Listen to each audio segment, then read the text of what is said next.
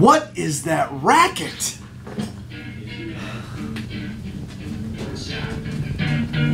One opportunity. Blair, what are you doing? One moment. Yeah, I'm uh, just getting ready for the, the 5K race that's coming up. Who are you kidding? Get back to work. I gotta practice. The race is coming up. Jeez. Hi, I'm Blair Bendel, Vice President of Marketing at Belterra Park. I'm here to invite you to the Gentleman's Stakes at Saturday, September 14th at Belterra Park, Cincinnati.